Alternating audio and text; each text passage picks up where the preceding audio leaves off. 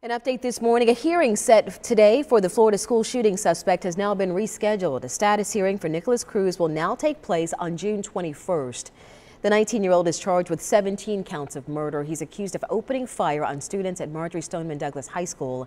Yesterday, two of the victims' parents moved to sue the maker of the AR-15 that Cruz is accused of using in the shooting. But first, a court must decide if that lawsuit can even move forward. It is currently illegal in Florida to sue gun makers.